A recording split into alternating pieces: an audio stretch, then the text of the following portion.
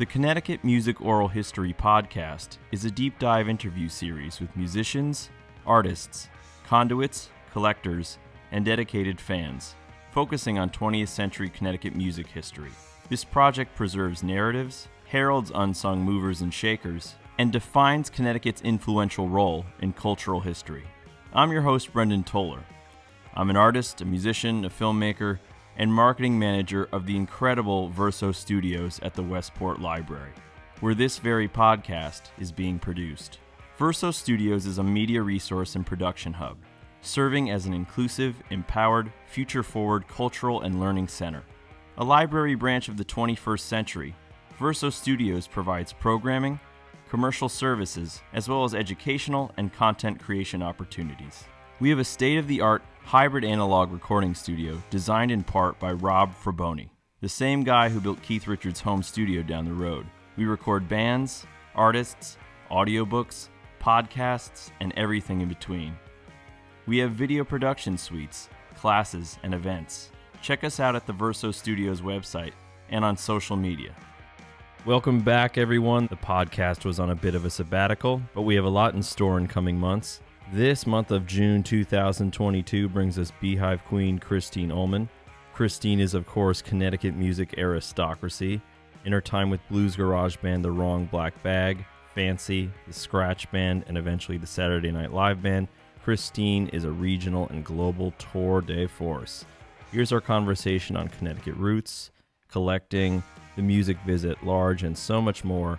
But first, here's a track from Christine and Rebel Montez called The Deep End, featuring Andy York, former Connecticut music oral history guest Big Al Anderson, and Connecticut slash Mott the Hoople legend Ian Hunter.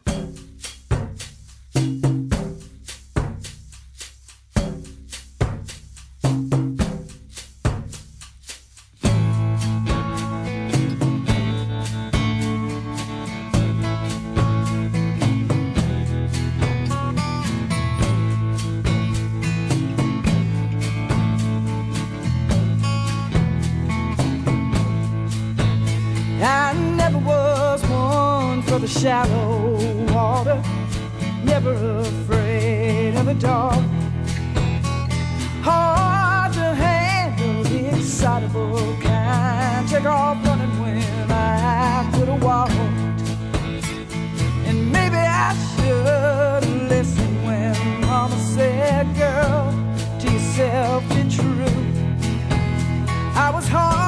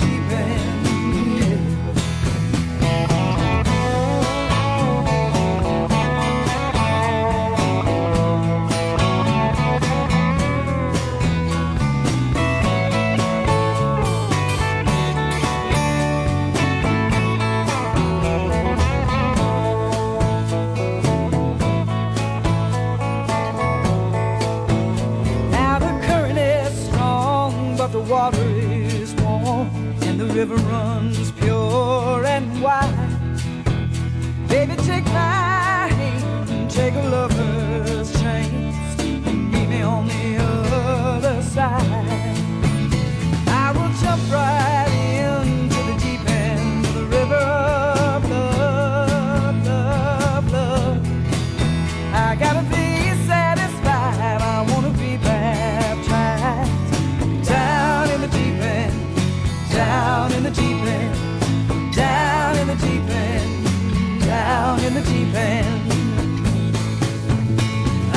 your pride.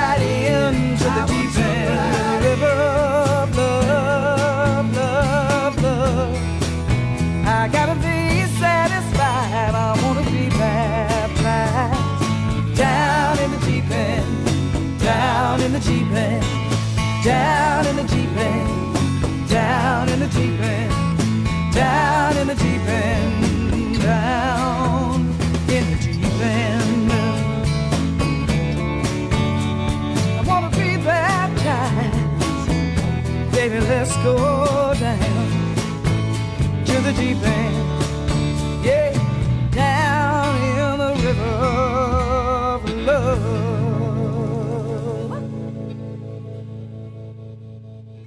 Christine, what was your first musical memory? Wow.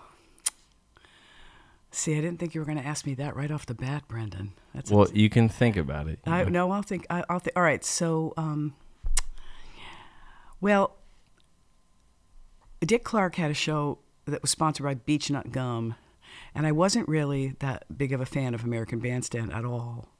But he had a show. I think it was on Saturday night, and I was little, but I remember Della Reese was on. She had a she had a hit called "Don't You Know," and so in other words, this was like a variety show. There were no kids dancing or anything, and and then at one point he had Jackie Wilson on, and I made my father go out and buy me 45s of Jackie Wilson, and my fa- and my father did it, you know, and that really was sort of the beginning of my my little girl record collection. So I think that's my first musical memory.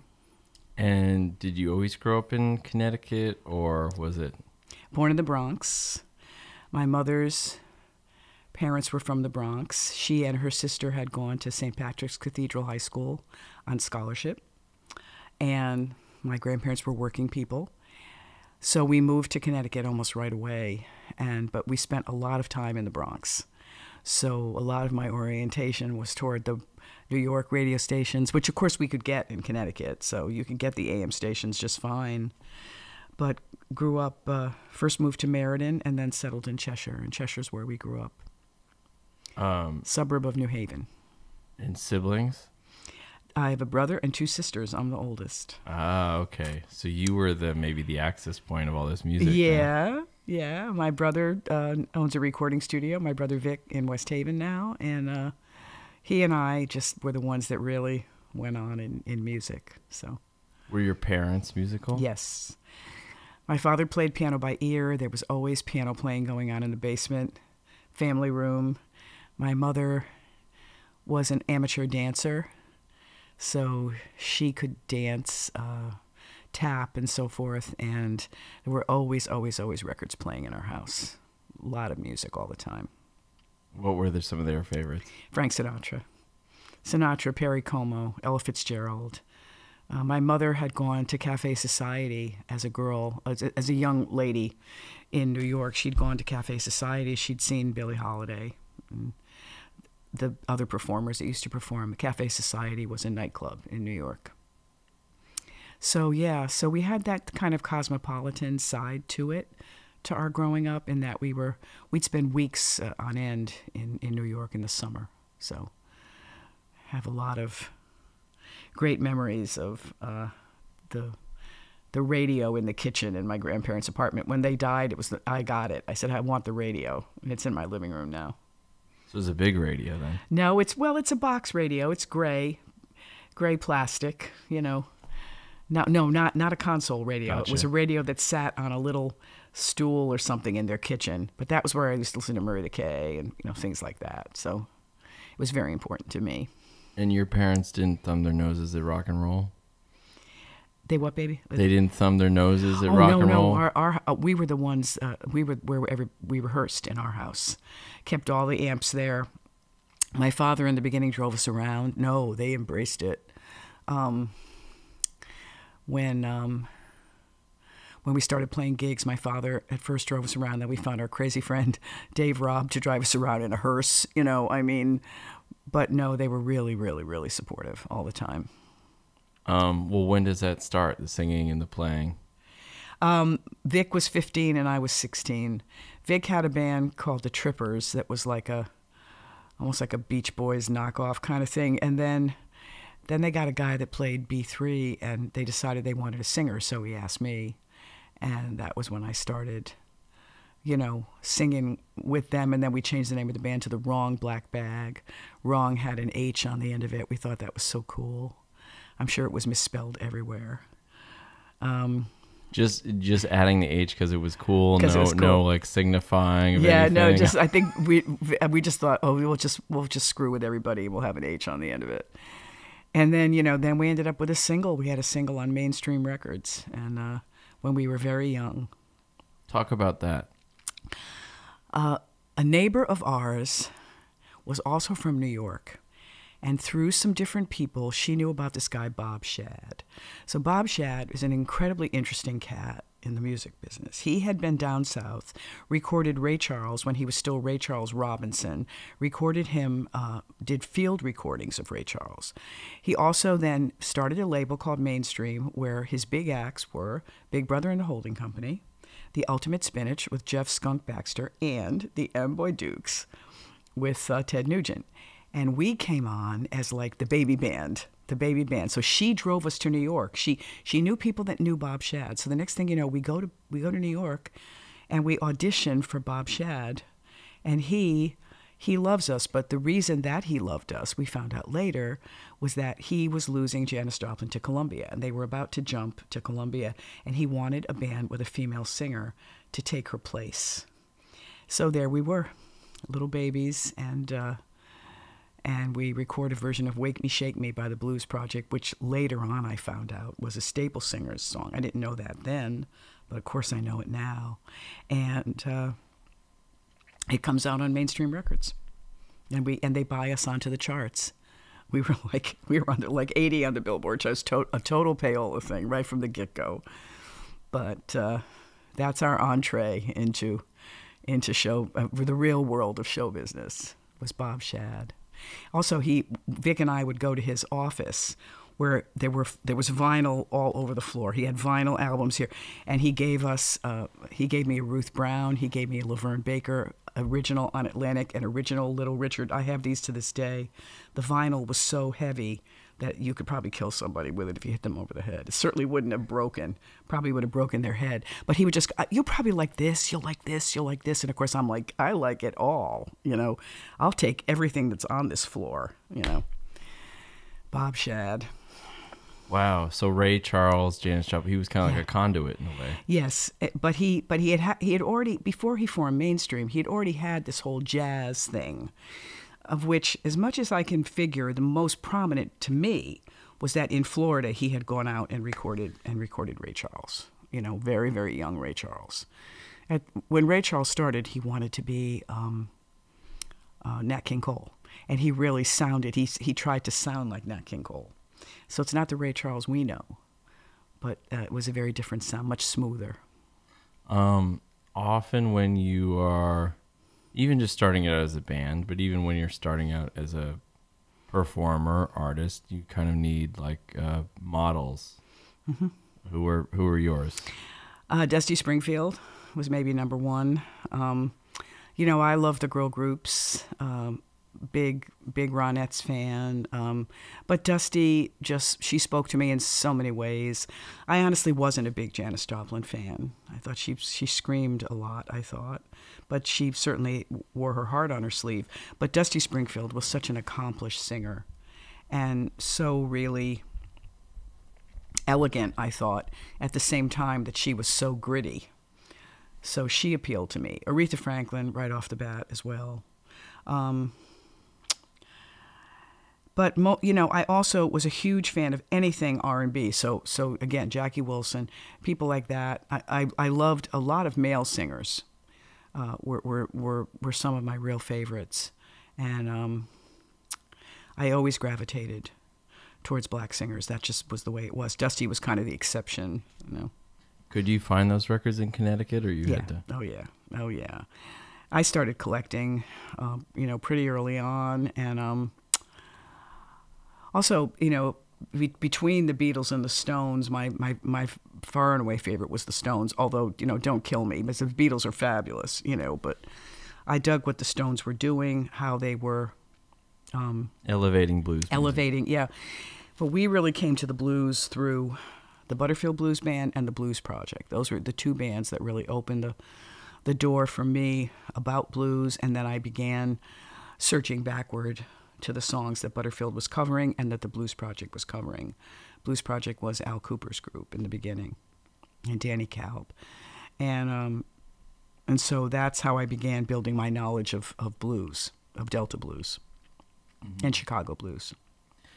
and you guys were a gigging band. So Oh, what, yeah. what were the, what, I, I read on your bio there was a there was a coffee house circuit. Yeah. So you could talk about Yeah. that a bit. But then I want to know like, did you guys play Bill Miller's Castle? Yes, Or, oh, yes, of course We got to hear about all that. So. Oh, of course we played. There was quite a teen club scene in Connecticut. And in the New Haven area, it was Bill Miller's Sherry Shack. It was the Trapezoid, uh, which was in Northford, Connecticut. It was something called, uh, there was one called the Muse. Um, uh, there was one called, uh, well, the Shack in Waterbury, um, as opposed to the Sherry Shack. Shack in Waterbury the, um, was just like a big wooden thing, you know. And um, What was the scene? Was it a true teen place? Yes. Like, and there was These were just all- soda pop, or what was? what yes, was these were all teen places where there was no booze. So the only, and then the next echelon was the House of Zodiac. The House of Zodiac was on Derby Avenue in New Haven, Route 34, and that was an over 21 club. Remember now, this is before the the age dropped to 18, and briefly in Connecticut for only a few years. So we weren't anywhere near 21. So yeah, they were charging you a dollar for a Coke, which at the time was ridiculously expensive. And, you know, actually, they were probably making more money than if they were selling booze. So they were all. Um, they were all teen clubs. Also, at the Trapezoid, I became a go go dancer as well. So, my parents, somehow I got over there because I couldn't drive. Um, we had these little mini dresses, and we would get up and we would frug on either side of the band. That's where we sort of where we met the Wild Weeds. Um, was the trapezoid literally a trapezoid? No, no, but they all had names like that. The Maze, the you know the. Um, they all had w- weird names like that, you know, trying to be psychedelic. I think, you know, And was there like a, a cadre of psychedelic bands, like young, uh, Not local? No? maybe, but we see we were always more bluesy and Right. kind of, but uh, the, and the North Atlantic Invasion Force (NAIF) they were around. Uh, the Chosen Few, um, the Bram Riggs set, um, and the Shags, Doc Cavalier's bands, and then of course the Wild Weeds.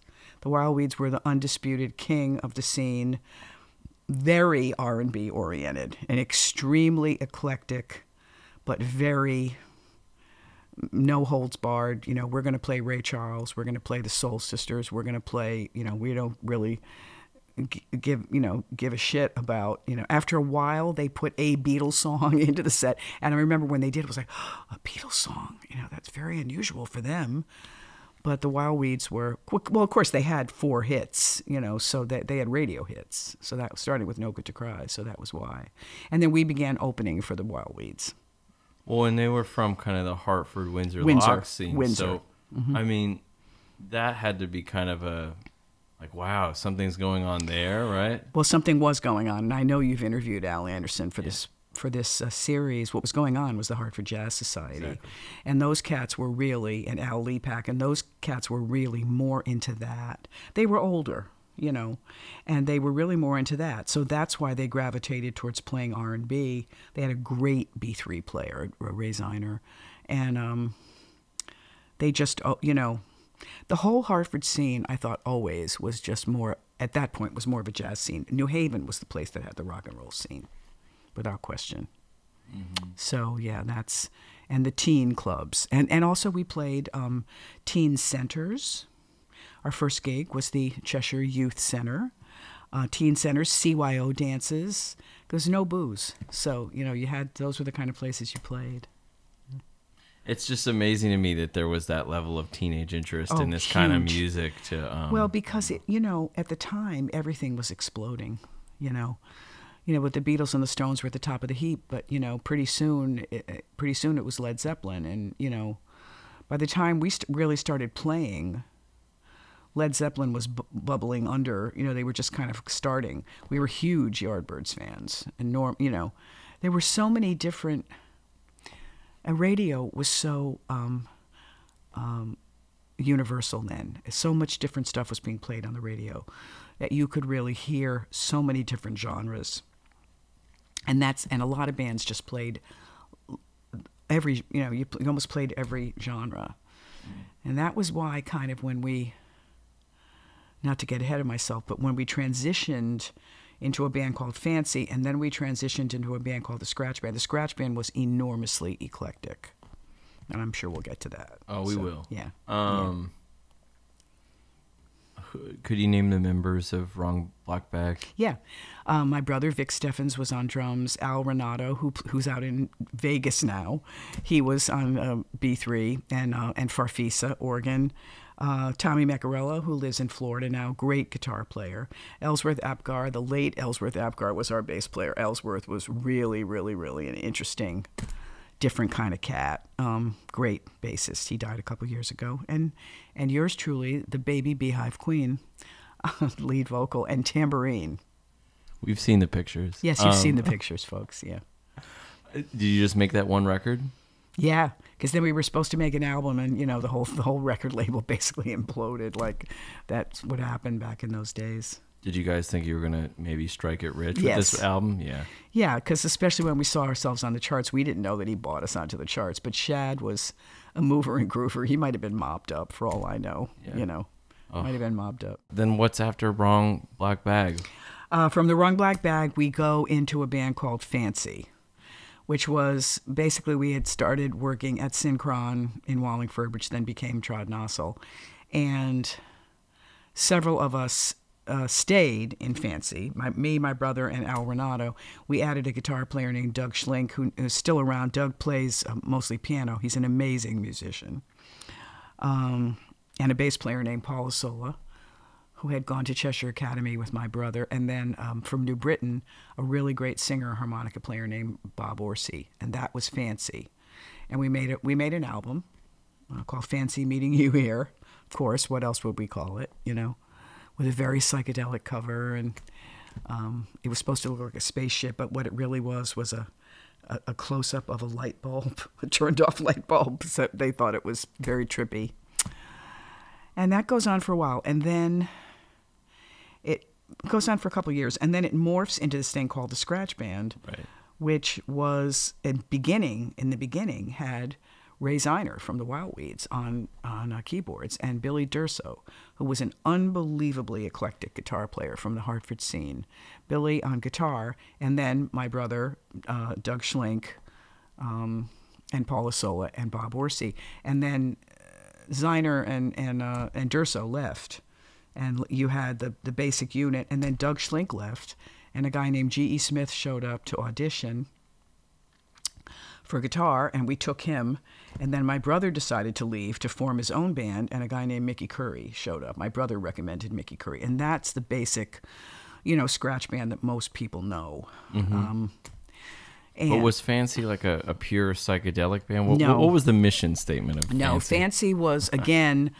My brother wrote. My brother and Bob Orsi wrote the songs. I didn't write songs then, and so it was an original. It was an original album. I think maybe we did. Uh, we did a cover of a song called Black Snake Moan, which was like a Spider John Koerner or somebody like that. Like, so again, there was that blues influence a little bit for, on Fancy. Um, it no, it wasn't psychedelic. Uh, it was just rock and roll of the time, you know, which, which by the way, did have some elements of being psychedelic, you know. Well, it sounds like the cover was probably psychedelic. this cover was. They tried to make the cover psychedelic. I don't know really how successful it was, but yeah. So the scratch band and the scratch band becomes quite a force of nature in the area. You know, we play everywhere, and we're seen. We're seen and be seen, and it. I have to say, it was a great. The level of musicianship was unbelievable, and and you know, and we knew that. So. Um, we not to be snotty about it, but you know we were better. We were really the best band that was around for, and so um, it did. That's just the way it worked out. And well, we, we but had a before huge that, following. you Yeah. have a uh, run-in with Andrew Loog Oldham, right? So that's right around that time. Andrew Oldham shows up. The scratch band was already together. Oh, okay, all right. Yeah, he shows up in, in Wallingford, and he'd moved to Early Connecticut. 70s? Yeah, um, uh, yeah, it would have been early. When did Or late scratch- 60s, maybe. No, not late '60s. It was later than that. And he um, he'd moved to Wilton, Connecticut, and settled. And he had a deal with Rare Earth Records, which was an arm of Motown. Now, if you don't know who Andrew Oldham is, he's produced the Rolling Stones forever, and his famous liner notes and his wonderful productions of everything from Satisfaction to Have You Seen Your Mother Baby Standing in the Shadows and uh, Get Off My Cloud, Ruby Tuesday. Those are all Andrew. He's in the Rock and Roll Hall of Fame. and he started hanging out and um, coming around. And among the things that we worked on was this thing, Metamorphosis, which is a he had access to a lot of Rolling Stones masters, and we basically screwed around with them, to be quite honest. And I never thought m- much of it, but it's just been re released. When I was here with you at the library a few months ago, Teri Landi, who's the mastering engineer at ABKCO, brought me a new mastered vinyl version of Metamorphosis. Also, uh, there's a Rolling Stones track on there called Out of Time, which originally appeared on uh, Flowers, maybe, or. But my my voice is all over it. We what we did was we overdubbed onto those tracks. We overdubbed piano, vocals, you know, you name it, and it got used in Quentin Tarantino's film Once Upon a Time in Hollywood. So they used that version and Andrew, someone told Andrew that Tarantino was a huge fan of Metamorphosis. So I never knew that that was a later comp with overdubs yeah. and all that. Wow. Okay. Yeah, it, the, the, original version of Out of Time is um, yeah, it's on Flowers, I think. Flowers, yeah. yeah. So without without without backup vocals, right. but then that was the one with the vocals was the one they chose to use in the movie. So that was kind of a great moment. And yeah, Andrew was around. He was around for for years, and he and my husband were. Um, uh, business partners, and he lives in Colombia now with his wife, and uh, who's a Colombian TV star. Yeah. Was Trodden also just ground zero? Like, if you wanted yeah. to get something going in yeah. rock and roll, that's where that was the magnet, huh? I would say so. I mean, at one point there we had there was a record label there. At one point there, uh, it was it was definitely the hang. I mean, we just go there and hang, you know, forever. Uh, at one point there was there were probably five or six bands working out of there at once. You know, um, the B. Willie Smith band, the Nelson Adelard band, just different, different, different bands. I mean, before that, Doc had had um, the Shags and the Bram Rigg Set. You know, pretty much, and um, they were they they they were around the same time as the Wrong Black Bag, so that there had been quite a. By this time, there had been a few years that had gone by. Mm-hmm. You know. I want to say Fancy. I want to say the Fancy album came out in '68, maybe, and then. Um, so yeah, the Scratch Band would have been maybe '70, started maybe '72 mm-hmm. or something like that. Yeah, and Andrew, maybe mid '70s. I'm not exactly sure. It gets a little fuzzy. Yeah, of course. What yeah. was Doc like? Very unusual man. Very, uh, very dynamic. Uh, very goal oriented, knew what he wanted. You know, um, he was originally an oral surgeon. That's where he got the name Doc, and he left his practice and sold it to somebody, and just whole hog jumped into the music business. And so um, he really was a mentor to all of us, and really put his money where his mouth was. I mean, spent a lot of money on on different things for different people, all you know, all in the in the in the service of promoting, you know, the artistic uh, environment, I guess. And and you know, so he's really he was really kind of a throwback, I think, in that there were a you know there were people in Chicago, the Chess Brothers. There were a lot of people that were starting record labels or had started record labels and were running independent labels. He that's really what he wanted to do, you know. So when Andrew came on the scene, of course, Andrew was um, had obviously cachet, you know, and uh, we we had a lot of fun. We had a lot of fun doing a lot of different things uh, there at that studio. Um, I don't know why I'm thinking of this now, but I interviewed yeah. um, Mike Watt from the Minutemen once, and he said we believed in two things: gigs and flyers. Yeah. And, and we we thought um, records were flyers, right? They're promoting yeah. the gig. Yeah. Was, for them, it was all about the gig. Was it yeah. about the gigs and the records or just the gigs? I mean, Scratch Band played around a lot. 28, uh, 28 29 days a month. Uh, again, at these under, most of these under 21, you know, they, we, we weren't playing in bars, you know, so to speak. Although after a while, I would have to say we started to, especially when that drinking age dropped, you know. But, um, but yeah, um, flyers. We flyers were huge. We had all kinds of flyers. We had a doc. We did a magazine. It was like mimeographed. I mean, hysterical. What was the magazine called? Well, I just think it was called TNA or something. It's T- Trod Nossel Artists, and had there was like a logo, and each each page was one of the bands, and then it would have your your gigs for the month.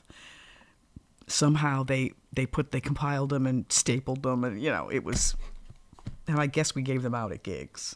It was, but yeah, because back in the day, paper was everything. Everything was Xeroxed or mimeographed or but there was no internet, so it was just it was everything was on paper.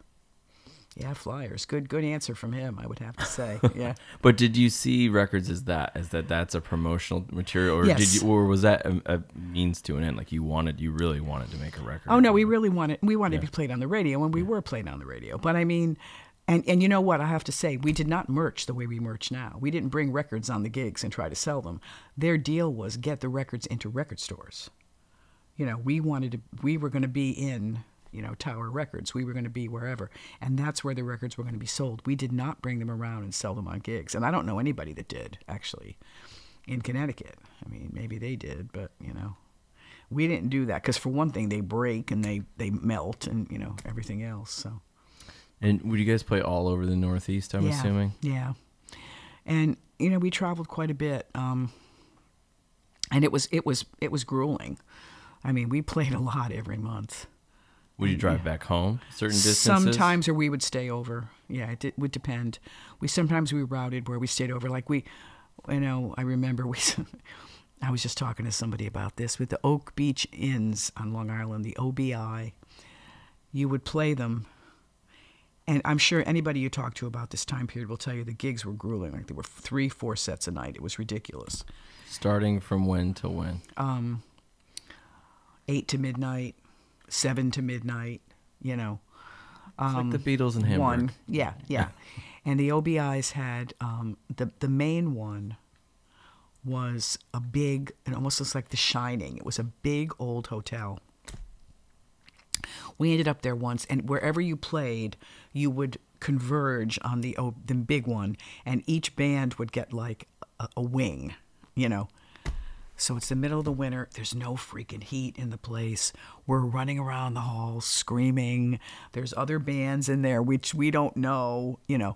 I mean, the whole thing was wild. You could never do it now. I mean, it was it was just like, yeah, okay, you guys can have the OBI and you can just go there and stay there. There was nobody watching us, you know. I mean, we could completely trash the place, you know. But it was freezing. I mean, I just just and yeah, we're not and by the way, we're not going to turn the heat on, you know, was that kind of thing. So, um, but that was rock and roll. That was that was what we did.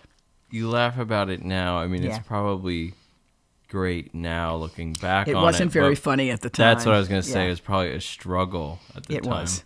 It was a struggle, but we also had a lot of fun. I mean, it was a great band, and so we played our asses off every night, and m- many, many memorable shows, and uh, we had a 300 song set list, you know, song list. We played everything, everything, because every each of us had a different sort of area of expertise. One cat knew a lot about Delta blues. I knew a lot about girl groups and, uh, you know, Dusty Springfield and things like that. And then uh, when G.E. Smith came into the band, he introduced us to Little Feat. We didn't even know who Little Feat were. He did.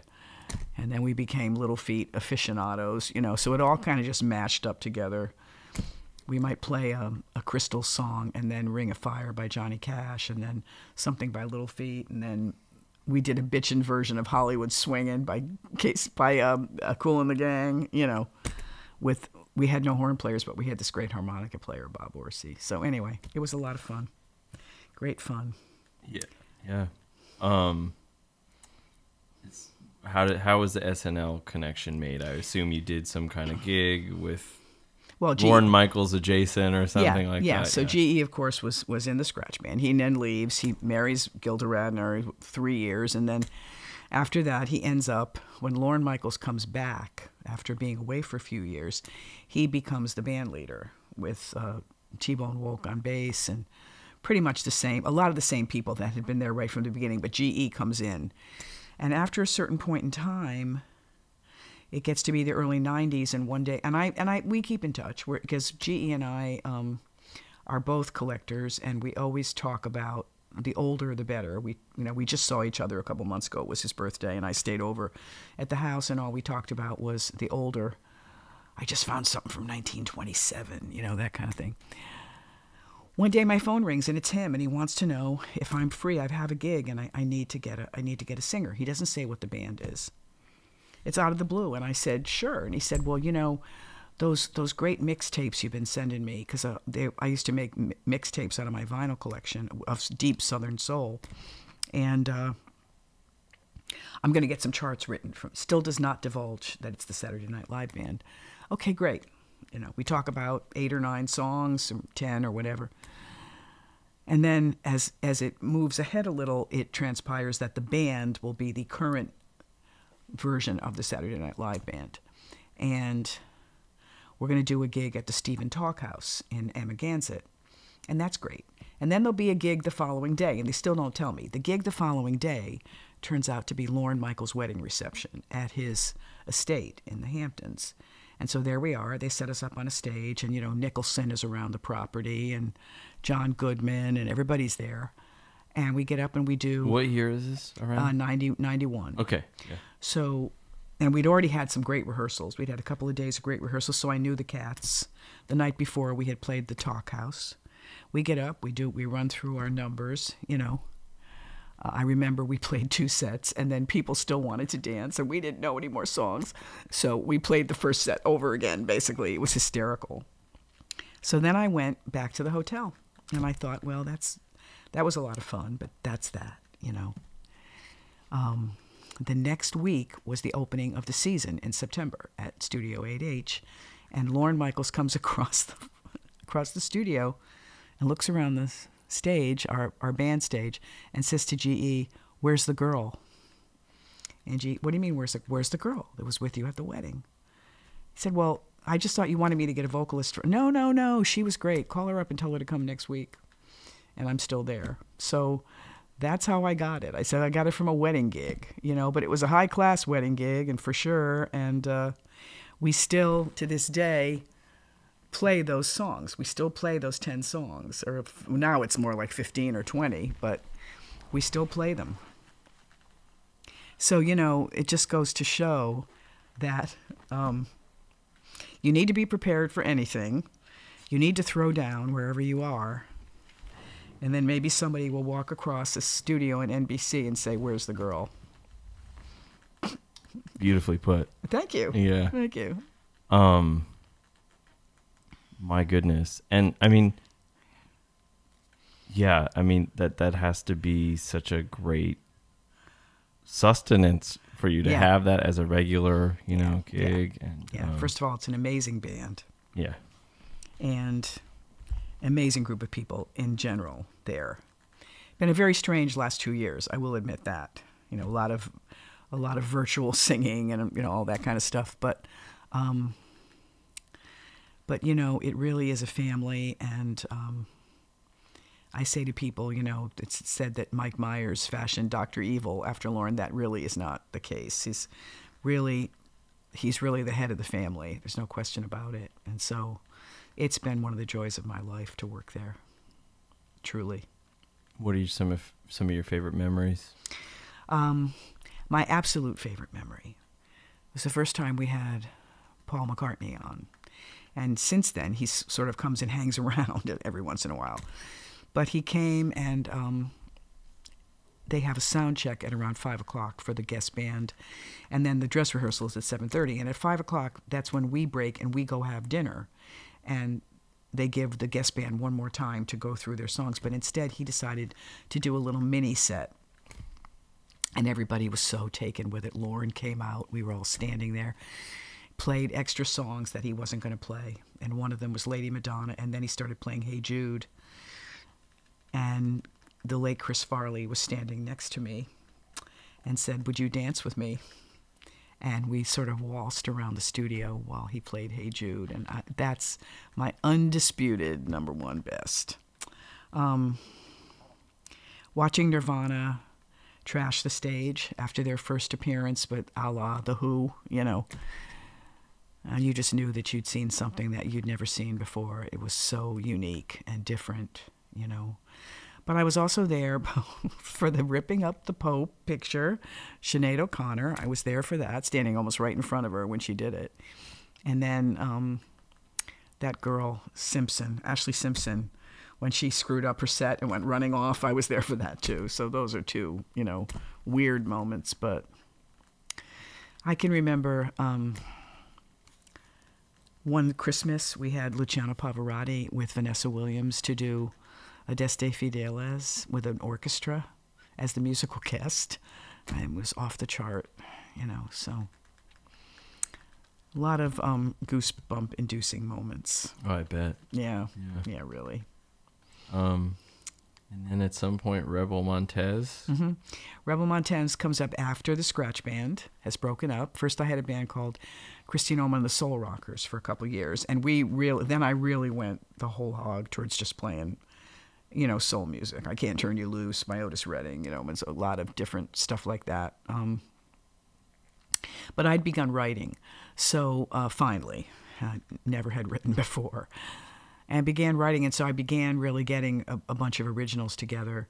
And after the Soul Rockers broke up, I decided I, I should I needed to have a band, you know, of my own, and I really needed to put my toe in the water big time. And so I took the leap, and uh, and I was lucky, you know. I, I got I got great guys right away. Uh, Michael Colbath on bass is still with me to this day, and uh, and we started making records. I started making solo records, and my first uh, solo record came out in '92. So um, the hard way, and and that was you know I never really envisioned doing that. I always thought I would be a band member, you know, but things transpire, and you know you have to evolve and you have to change, and so. Um, it wouldn't have been actually my choice, but I've been happy. I've been happy in the role of band leader, and uh, think I'm pretty good at it. And I know I'm a, I know I'm pretty good at writing. I turned out to be, I think, the best writer. But you know, just took me a long time to come around to it. What inspires you to write? Is it needing the material for a live show, or is it just I living write- life and Yeah, life basically, or reading something or seeing something. I write a lot of I write titles and a lot of. The big joke is I write stuff on napkins. You know, I know I read a thing with John Hiatt where he said he has a shoebox full of little pieces of paper, and really, I I have a lot of little pieces of paper. I keep them all in one place, or try to keep them all in one place, and that sometimes just helps you. You know, I spend a lot of time on my lyrics, so sometimes it just helps you piece things together. You know. Um, I had a, I'd cut an article out of the New Yorker years ago. I keep like a notebooks, and uh, it was about um, firefighting in Louisiana, uh, out in the country. And I started thinking about what if a sugarcane field caught on fire. Uh, you know, it would be it would be like car- caramel, the caramel smell, you know, and everything else. And then I started extrapolating that to um, the end of a love affair and I called the song "Burning Sugar," and it real it's one of it's really it's the brand newest one, and uh, but that came out of something that literally I'd had I'd been looking at that article. There's something in this article I know there is, you know, um, and that's where the idea came from. You know, you never you never really know, never know. um you've done a ton of different tribute shows, Yeah. duets to Yeah. talk about some of the Oh, highlights if you if you No, Will. you know, I was thinking earlier when I was coming in that, uh, well, Doc died 17 years ago, and at that point, I just decided I was going to network and I was going to open myself and start traveling, and you were married to Doc, yes? well, we were never legally married, but we were together for a long, long, long time. And in Connecticut, there's no common law, so you know we more's the pity. But you know, but yeah, we were together for a really long time, and uh, I just decided I was, you know, this was going to be. I had a short list of people that I knew I could trust in the business, and I reached out to them. I started really opening myself up, and it just spectacularly uh, succeeded. I mean, I, I couldn't have asked for better. Um, I had already done a Grammy nominated album with Charlie Musselwhite earlier, but then I began uh, working with Ian Hunter. I began working with Dion. I began working with Marshall Crenshaw, uh, Levon Helm. Um, I began uh, Ronnie Spector. You know, Ronnie Spector became a friend of mine, a dear friend, and uh, I just really began opening myself to sort of any possibility. I traveled down south. I took a, a, a, a I traveled through the Delta. Charlie Musselwhite was my blogging partner, telling me where to go. You know, um, I started going to um, after a while to Muscle Shoals, Alabama. Um, I established um, uh, good, very, very good contacts in Nashville, very good contacts in New Orleans. I'm on the board of the New Orleans, uh, one, of the national spokespeople for the New Orleans Musicians Clinic. Then I began working with Mac Rebennack, this and the and the Reducers. It just all sort of just kept kind of uh, blossoming, you know. Uh, the Americana Festival in Nashville with uh, Bonnie Bramlett. Uh, uh, we do a gospel show there, and we'll, we'll be bringing it back this September to Nashville with all female singers called Sunday School. And um, was it scary or uh, was very, this like okay? Very. Uh, I didn't know. I didn't know jack shit. I didn't know anything. I didn't know anything about publishing. I didn't know anything. I, I had to get my publishing back, which I did. Um, I did, just didn't know anything about anything. But I made a short list of people that I knew I could trust, and God loved them. They all helped me, you know. Um, Kenneth Higney and Jimmy Levitt at, at uh, in Marshall Chess's office at Arc Music. They helped me immeasurably. Um, uh, just different people. Um, and so, and, and, and then from then on, I began to really establish myself as somebody that could be trusted, somebody that if you if you if you worked with me, you know I would come ready, I would throw down. And as I always say, you know, your reputation precedes you. In this business, you can only screw up a minimal number of times, you know, before someone else will step into the shoes, you know. So it really boils down to how much do you value your yourself? How much do you value your career? How your ethics, your your your personal sense of responsibility to the gig? Is just go back to what you said brendan about the gig. It's really all about the gig. It's all about the audience you know?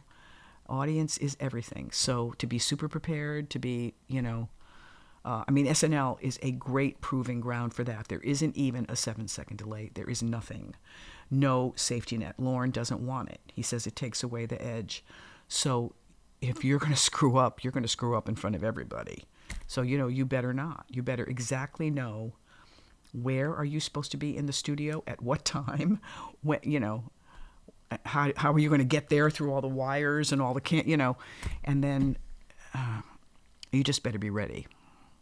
In this day and age, it'd be so easy to. Um, the forces seem against us, right? Yeah. So, eh, Yeah. but I gotta say, just in the little time that we've worked together, um, Yeah. you will not consider that alternative. No. no, because you know, to, to I'm like it's it's like you know when you study a cat like James Brown, you know, or or or, or Ronnie. The, the thing about Ronnie Spector, for instance, is Ronnie Spector used to say. Uh, when she'd go do the shows at the Brooklyn Fox with Murray the K. How can some of these singers they show up with curlers in their hair? How can that be? She every time she went out, she had to be completely ready to go, you know. And so, you know, I do I tease my hair up a lot, you know, I use a lot of hairspray and uh and it's you have to be you have to be ready, but also the, it's it's the respect, it's the respect for the gig. It's a, somebody like Duke Ellington or, or James Brown or Dusty Springfield, as, as, as terribly beset with stage fright as she was, nevertheless impeccable every time she showed up. And that's kind of what you have to do. And if you're a band leader, there's just that much more baggage to it because that, there's that much more stuff you have to do, you know? But I'm, if, if I'm going to take something, I'm not going to be half assed, you know? That that nothing pisses me off more than that and i've seen it and it's like what the hell are you do- why are you here why are you even here you don't you don't really intend to do this you don't even have the proper respect for the gig you know so in that respect i guess i'm really a throwback but um That's the only way I know how to do it. Um, you call yourself a collector. Yeah. Talk to us about that. Like, they must inspire you. You must just dig deeper. You must. Yeah, well, the fact that I ended up um, spending so much time in Muscle Shoals is just really in, insanely full circle because I, I, I realized early on I went to a tag sale near my house in Connecticut, and there were four shoe boxes of 45s, and I bought them for $5 each, and I brought them home. And they were a perfect little collection of what you call deep Southern soul. So they were records made in Memphis, records made in Muscle Shoals, records made in in uh, well Nashville actually had a pretty decent soul scene, but all Southern stuff, and that was sort of the nucleus of. I already had a lot of 45s, but then I began building off of that. When I would go to the Jazz and Heritage Festival with my with my father in in New Orleans, we used to go to Record Ron's, which was this great store. The guy was from Brooklyn on Decatur Street, and he just you know I would go in there with what you call your want list. Uh, people that collect records, it's called a want list, and I would go in there with that. But then once the internet opened up, I just began.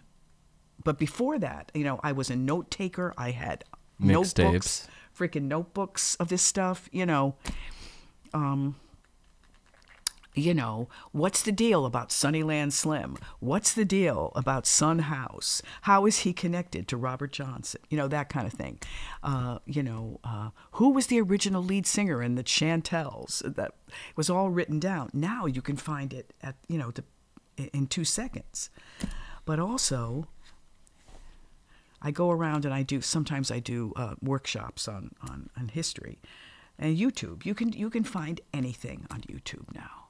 What they call a static YouTube, which is a picture of a record label, and then the song starts playing. You don't need a want list. There it is. You know, and so that just opened up my world entirely and and you know and when you meet people there's there are people in every scene like dave malone in the radiators in in uh, and reggie scanlan in the radiators in new orleans. I can talk to them about anything.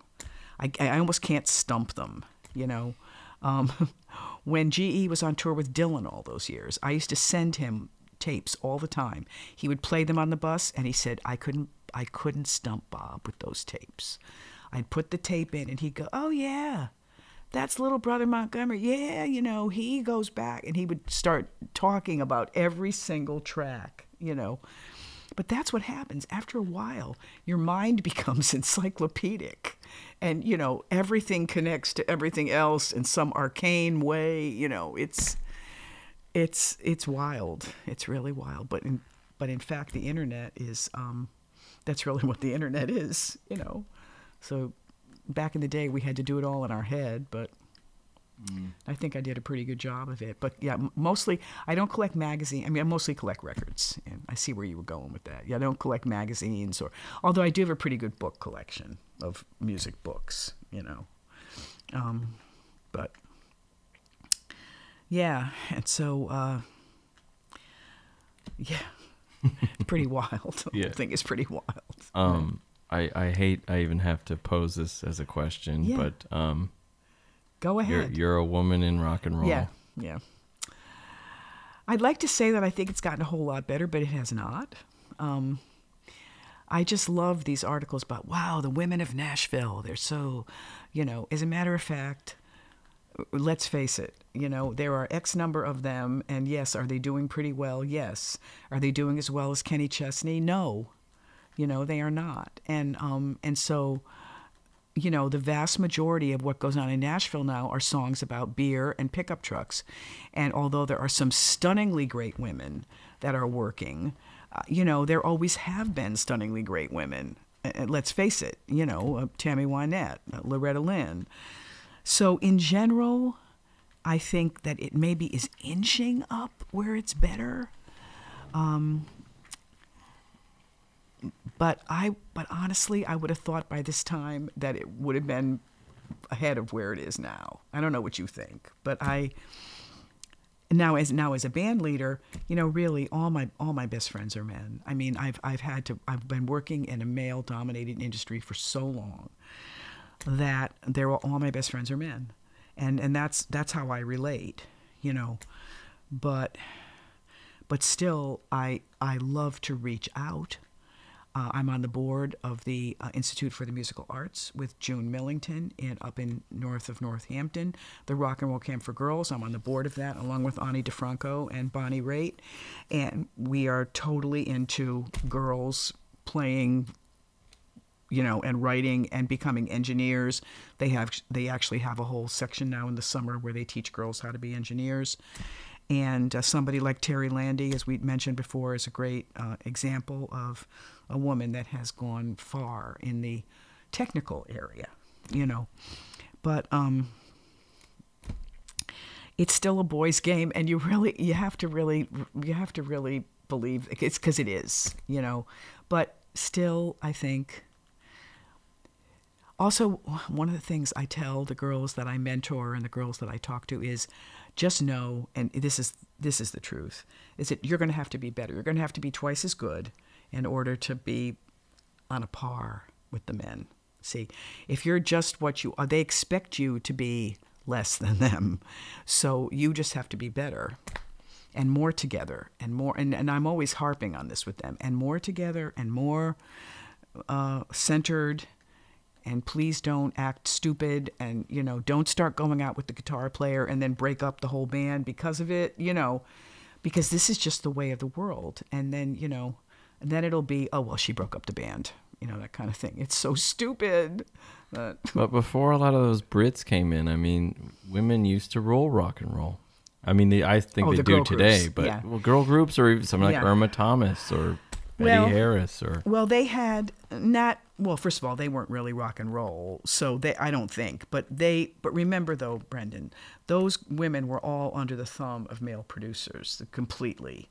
So and although irma the one of the one that you mentioned there, the one that sort of because Irma had such a lovely relationship with Allen Toussaint, you know, and it was she really is truly the soul queen of New Orleans. But as we know, you know, the Ronettes, the terrible uh, uh, problem with Phil Spector, Tina Turner, the terrible problem with Ike Turner, um, and and in general, just under the thumb of a bunch of men. Although yes, they were the visible face of radio. You do raise a good point they ruled the radio airwaves, you know.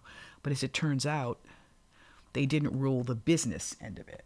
that's right And uh, but no, you're right. You're right. And um, and and there was kind of a turnaround. And the turnaround I think started with the Beatles and the Stones being all men. You had you know Dusty Springfield being a, an example of a woman that skyrocketed in that world, but. Um, the next thing you know, you had all of these self-contained groups that were writing their own music, the Byrds, you know, et cetera, et cetera, et cetera, and pretty much all men. And that, so yeah, so you do raise a good point as far as how the balance shifted on radio. Mm-hmm. Um, that's true. Yeah. The girl group sound was an insanely great thing, I will say.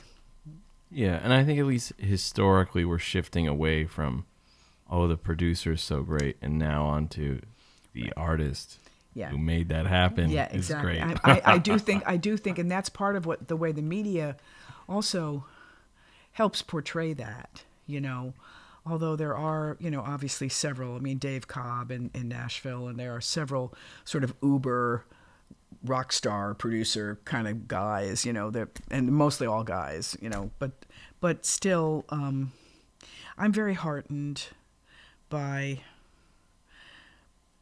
there's so many great you know female writers and and singers and it does provide a different outlet i think uh, to to the male um, viewpoint and we need it and we need both we definitely need both without question Um, it could be today or yesterday. You can Mm-hmm. think about this, but who in Connecticut inspires you? right now Yeah, musically or otherwise, you know. Well, you know, I'm sort of I'm sort of removed from the Connecticut scene now a little bit because I go so far afield. But I, you know, Al Anderson has always been a beacon for me.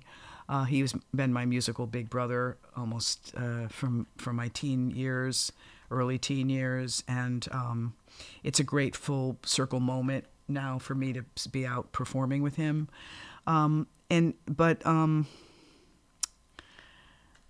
kind of I don't know really. Um, uh, I mean, besides Al, I, would say that um, I, I don't I, I, I don't really know. Well, that's fine. Do you have mentors now? Or people you look up to?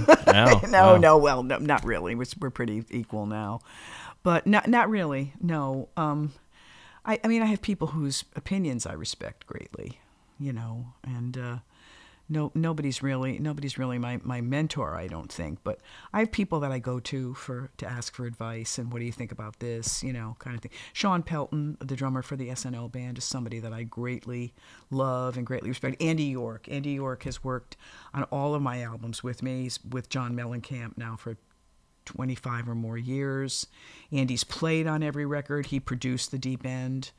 Uh, my brother Vic, my brother Vic at Horizon in West Haven, you know, Vic is a great bulwark in the scene for not only for younger artists, but you know, he's always helping somebody. Is also very connected to the gospel scene in Bridgeport, and which is a great a great bunch of talented people. So, but I don't know that I actually have a mentor right now. No, I think I've I've passed to be I am the mentor. you know, it's that kind of thing. it's like, yeah. what is that? What was that? Yeah. Um, I am Iron Man. No, I am mentor. Yeah. good question though. Yeah. It's a good question. Um, what do you got going on the rest of the year? oh God. Yeah. Where do I start? Uh, well, one of the interesting things, you and I were just talking about this at dinner, is this guy, Don Randi, who's coming from the West Coast. He's a member of the Wrecking Crew. Th- we think there, you and I think there are only two surviving members of the Wrecking Crew. Him, he's a piano player, and Carol Kaye, the bass player. I'm doing three gigs with him at the end of June. Doing gigs with Al Anderson in the middle of June, including the Shaboo uh, reunion in Willimantic. Al's going to be appearing at that. Um, I'll be at the WC Handy Festival in Muscle Shoals in July. In September, I'll be at the AMA in Nashville doing Sunday school.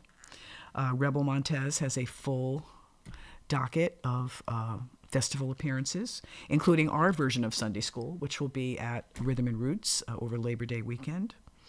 Uh, moving into the fall, um, I'll be doing some. Char- I have a charity show in Baltimore. I'll be doing um, in October. Um, God, one of the best things I did this year, and you were there, was I was asked by the family to be the MC of the Celebration of Life for Ronnie Spector. At the beginning of May, where uh, for those of you who are listening to this archived, it's June of 2022 now, and uh, and that was such an honor and unexpected, completely. Um, I tried to do my best for her memory. It was a great night, very joyful in the end, and uh, and I'm hoping um, that everybody that was there was was was touched and moved, and you know went out of there feeling edified. You know that was kind of my that was kind of my um, my my goal. So yeah, and then SNL will go back, come back in early October, and uh, it you know, uh, and then it just kind of rolls on. I mean, I find oh, so yeah. Besides Metamorphosis being re-released, uh, Teri Landi tells me that there is a Rolling Stones seven-inch vinyl single, and I'm on some of those. She told me, and I'm going to be getting a, a complimentary. That I'm excited about that because that's now probably I gotta buy it. Huh. that's probably like a couple hundred bucks, and I'm, you know, get, getting going to get a comp of that. Um, that was again. These are some of these things are unexpected. You know, you don't really expect them, and then they just kind of show up. So, yeah, it's you know coming out of this pandemic, and which hopefully we are, and uh, it's been a ridiculously weird two years in the music business. That's for sure. I'd like to see it be over. I know, I know we keep saying that, you know, but I'd like to see it be over, Brendan. Could you picture um, life being any different? For me, Yeah. um, I don't.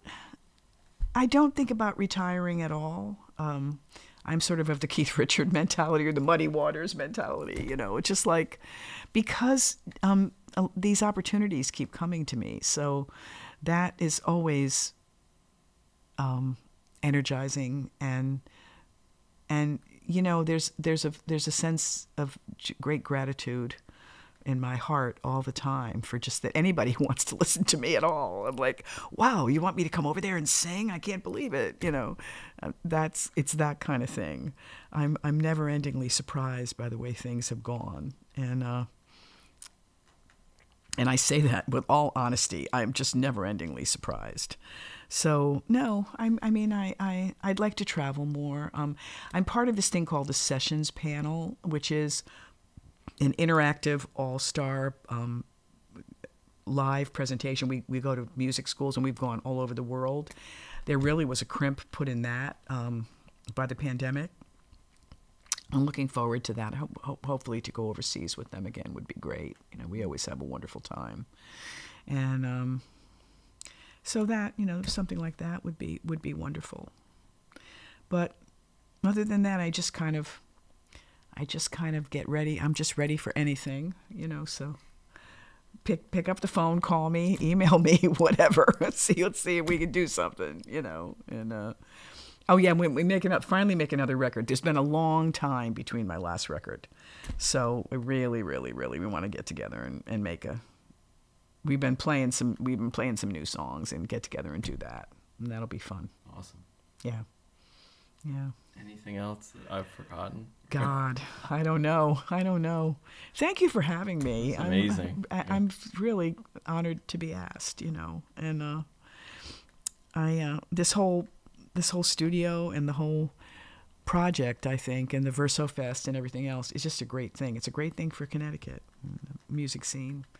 And I know you're involved some in the scene in New York too, and so it's you know, it's good for the Northeast.